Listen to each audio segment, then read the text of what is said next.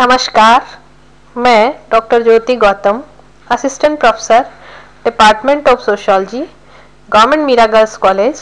आज आपको third year की क्लास में R K Merton Robert King Merton के बारे में अध्ययन कराऊँगी। इस फ़र्स्ट पेपर में हम विभिन्न समाजशास्त्रियों द्वारा दी गई अवधारणाओं के बारे में पढ़ रहे हैं। तो आज की हमारी अवधारणा फंक्शनलिज्म प्रकार्यवाद।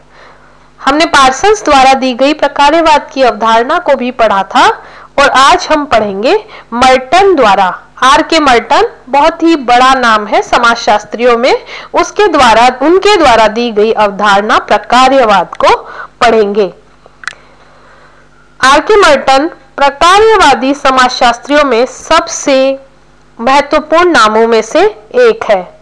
इनका जन्म संयुक्त राज्य अमेरिका के पेनिनसिल्वेनिया राज्य के फिलाडेल्फिया में हुआ था।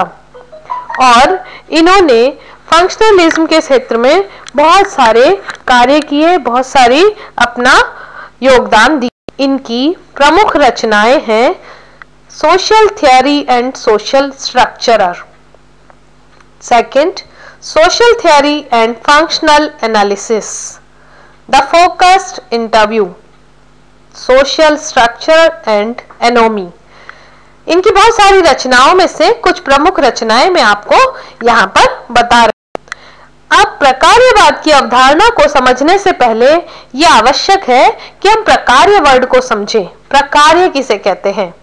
तो प्रकार्य का अर्थ मर्टन ने अपनी पुस्तक social theory and social structure में दिया। इसके अलग अलग तरह से इसको परिभाषित किया अलग अलग तरह से इसके अर्थों को बताया। तो प्रमुख रूप से मर्टन ने प्रकार्य शब्द के पाँच बताए हैं। फ़र्स्ट है, प्रकार्य का अर्थ सार्वजनिक उत्सव या सम्मेलन के रूप में कि जब हम कभी घर में प्रकार्य का अर्थ फ़ंक्शन तो कब हम देखते हैं फ़ंक्शन है, हमारे घर में फ़ंक्शन है। तो कभी कभी घर में होने वाले फ़ंक्शन या सार्वजनिक उत्सव के रूप में हम फ़ंक्शन वर्ड का यूज़ करते हैं। ऐसा मर्टन ने बताया। मर्टन ने बताया कि फ़ंक्शन वर्ड को पाँच तरीकों से, पाँच अर्थों में समझा जा सकता है। तो जैसे सार्वजनिक उत्सव या सम्मेलन के रूप में कि सार्वजनिक रूप से हम कोई फ़ंक्शन कर रहे हैं, दशहरा मना रहे हैं, दिवाली मना रहे हैं, या कोई बर्थडे का सेलिब्रेशन कर रहे हैं, उसको भी हम फ़ंक्शन का नाम दे देते हैं। सेकंड प्रकार्य व्यवस्था के रूप में। व्यवस्था फ़ंक्शन कि सामाजिक आर्थिक विश्लेषण के रूप में कि भाई इस संस्था का क्या फ़ंक्शन है? ये संस्था किस तरह कार्य करती है? तो ये प्रकार्य व्यवस्था के रूप में भी हम यूज़ कर लेते हैं। प्रकार्य एक कार्य संपादन के रूप में। एक सामाजिक पद पर आसीन व्यक्ति के कार्यकलाप के रूप में भी इसको देखा जा सकता है कि जैसे एज ए टीचर आपका क्या फ़ंक्शन है? एज ए स्टूडेंट आपका क्या फ़ंक्शन है? तो जो व्यक्ति किसी कार्य को संपादित करता है, उसके रूप में भी फ़ंक्शन को देखा जा सकता है। नेक्स्ट है गणित शास्त्रीय प्रकार्य। गणित में प्रकार्य फ़ंक्शन को अलग तरह से यूज़ किया जाता है। वहाँ पे ये लग, अर्थ लगाया जाता है कि जैसे घटना क का प्रभाव घटना ख पे क्या पड़ रहा है? फ़ंक्शन उसका क्या पड़ रहा है दूसरी घटना पर। यह है इसका गणित शास्त्रीय प्रकार्य एंड व्यवस्था को बनाए रखने में सहायक। प्राणी शास्त्रीय या सामाजिक कार्य प्रणालियों के रूप में प्रकार्य मतलब ये देखना कि व्यवस्था कैसे बनी रहेंगी, किन फ़ंक्शंस को करने से ये सुचारू रूप से चीज़ें चलेगी। जैसे हमारे ऑर्गन्स है कि नोज़ का क्या फ़ंक्शन है टंग का क्या फ़ंक्शन है, आँखों का क्या फ़ंक्शन है, ये व्यवस्था को बनाए रखने में सहायक होते हैं या किसी न किसी प्रकार से व्यवस्था को सुचारू बनाते हैं।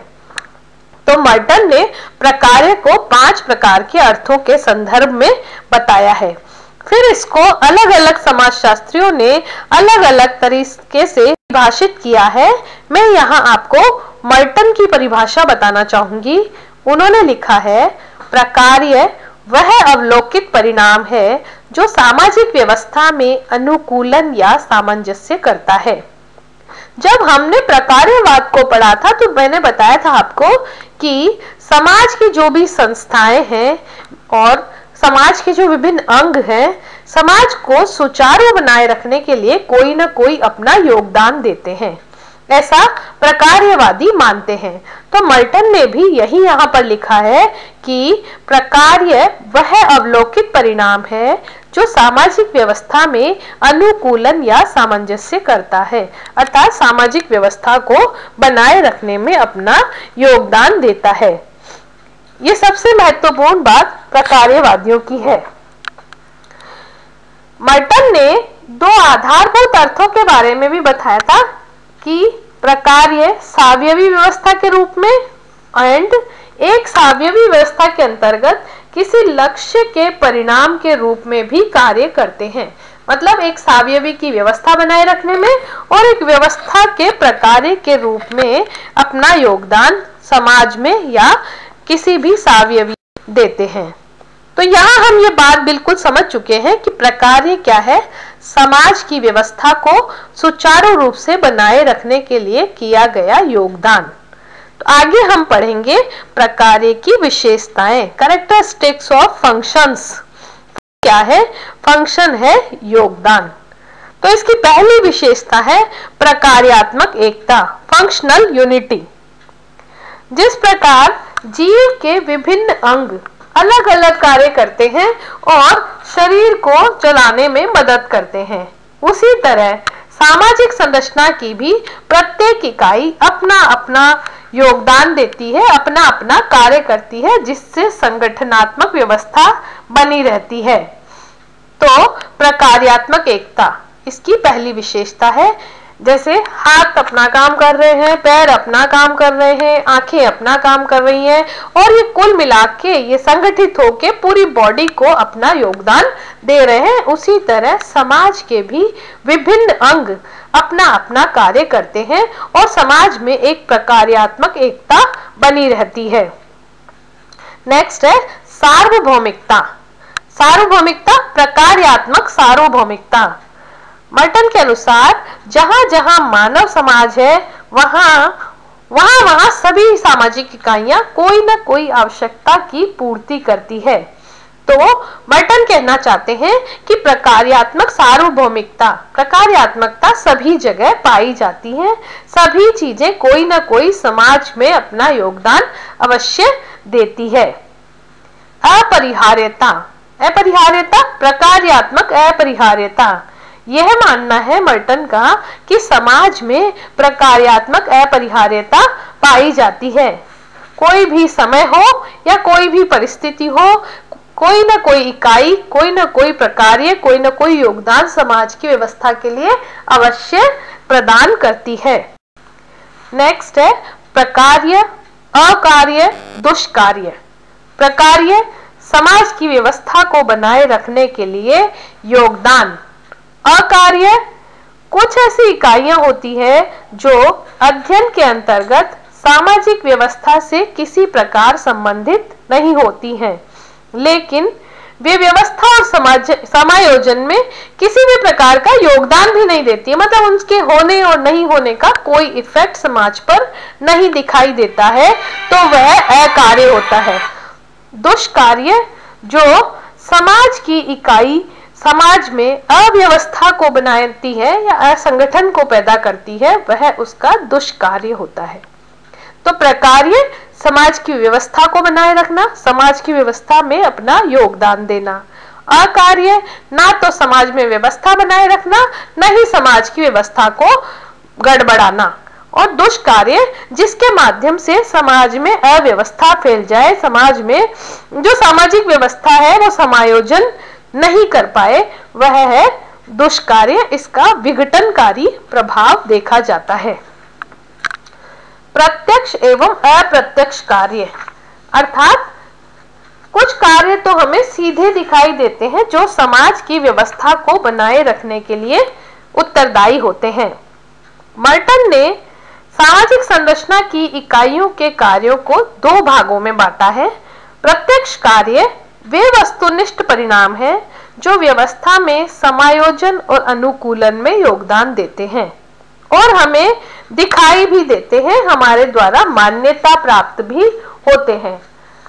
अप्रत्यक्ष कार्य वे होते हैं, जो न तो मान्यता प्राप्त होते हैं, न ही चाहे जाते हैं, लेकिन वे भी समाज में अपना योगदान देते हैं। अनुकूलता एवं सामंजस्य। मर्टन के अनुसार, प्रकार्य समाज में अनुकूलता और सामंजस्य बढ़ाने में योगदान देते हैं। सामाजिक व्यवस्था की निरंतरता तथा संतुलन के लिए इकाइयों में अनुकूलन होना आवश्यक है और इस अनुकूलन से ही परस्पर सामंजस्य बना रहता है। अगली विशेषता है समाज द्वारा स्वीकृत। सामाजिक संरचना के तत्वों इकाइयों, संस्थाओं, एजेंसियों आदि के द्वारा जो कार्य किए जाते हैं, वे समाज द्वारा स्वीकृत होते हैं।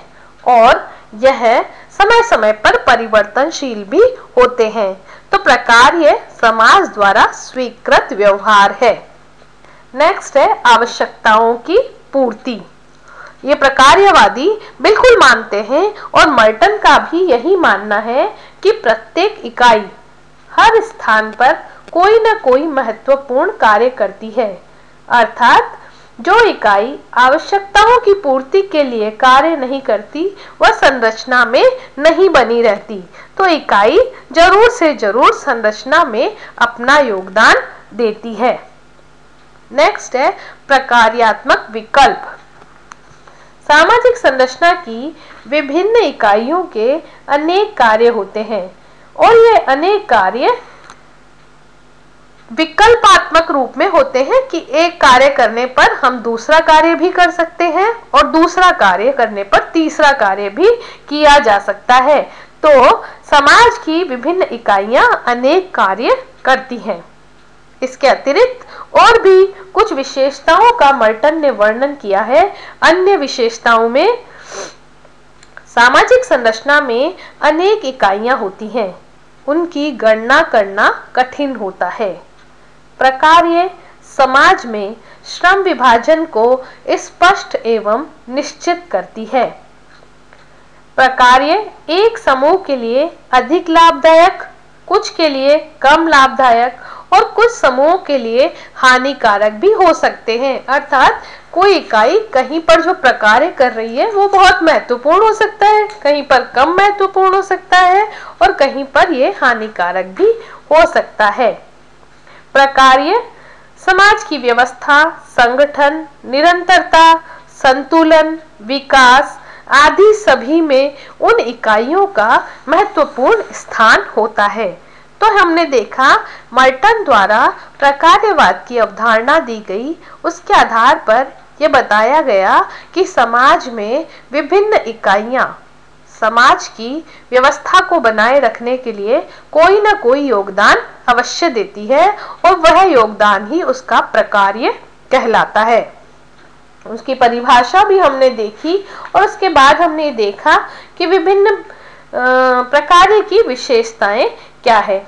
एक बार पुनः मैं मर्टन की परिभाषा यहाँ पर आपको दोहराना चाहूँगी। प्रकार्य वह अवलोकित परिणाम है जो सामाजिक व्यवस्था में अनुकूलन तथा सामंजस्य करता है। विशेषताओं को भी एक बार हम रिपीट कर लेते हैं। प्रकार्यात्मक एकता, प्रकार्यात्मक सार्वभौमिकता, प्रकार्यात्मक अपरिहार्यता, प्रकार्य अकार्य दुष्कार्य, प्रत्यक्ष एवं अप्रत्यक्ष कार्य, अनुकूलता एवं सामंजस्य, समाज द्वारा स्वीकृत आवश्यकताओं की पूर्ति, प्रकार्यात्मक विकल्प, अन्य विशेषताएँ। और इस तरह हमने समझा कि समाज की विभिन्न इकाइयों द्वारा दिए गए योगदान को मर्टन ने प्रकार्यवाद के रूप में समझाने का प्रयास किया। प्रकार्य योगदान के रूप में देखा जाता है। अकार्य कोई भी होने का, किसी भी इकाई के होने या नहीं होने का कोई भी प्रभाव नहीं होना और दुष्कार्य उसके होने का हानिकारक प्रभाव होने के रूप में देखा जाता है। तो आप सभी को यह चैप्टर और प्रकार्यवाद की अवधारणा ज़रूर समझ में आई होगी। Thank you thank you very much डाले गए सभी वीडियोस को आप ज़रूर देखें, क्योंकि यह एक बहुत अच्छा मौका है जिसमें आप घर बैठे सारे अपने सब्जेक्ट की नॉलेज ले सकते हैं। Thank you thank you very much